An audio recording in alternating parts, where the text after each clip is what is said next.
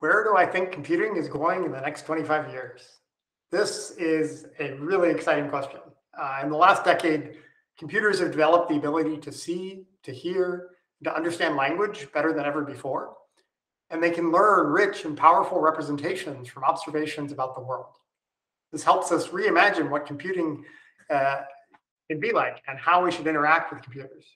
It enables us to tackle completely new problems with computing. Many, many kinds of opportunities exist across nearly every area of human endeavor.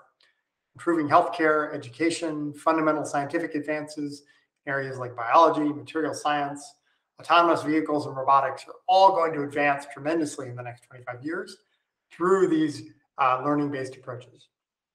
Some areas I'm particularly excited about. Uh, first, uh, specialization of computing hardware to do the kinds of things that we want computers to be able to do really well. I think uh, we've seen that with machine learning acceleration. We want uh, computers to be able to apply machine learning computations as rapidly as possible. There's going to be more automation in the overall hardware design process through learning-based approaches that will enable us to create uh, new and interesting hardware more quickly.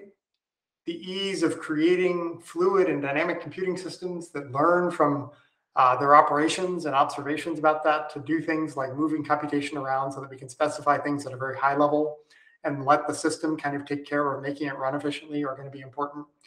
Large scale machine learning systems are going to be really important as well. How can we have people collectively contribute to teaching computer systems and to build on each other's work? To date, most of the machine learning models that are trained are trained for fairly specific tasks and are trained by really small teams of people.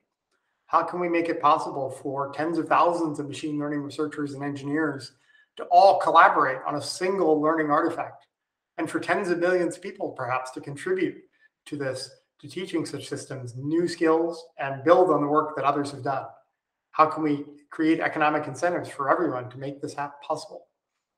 How can we create new amazing tools that enable people to more effortlessly unlock what's in their imagination, creating images, prose, videos, designs more easily than ever before? And how can we make the devices that we carry around with us as helpful as possible as we go about our daily lives, giving us contextual information as we need it, helping us understand our environment, communicate with each other across thousands of languages?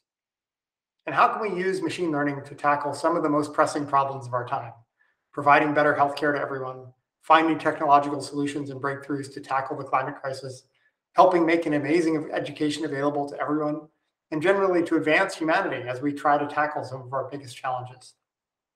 Computing has already made an amazing difference in the lives of so many and has the potential to do so much more over the next 25 years. I'm excited about all that we can achieve in the field of computer science through the magic of computer science in the future. Thank you.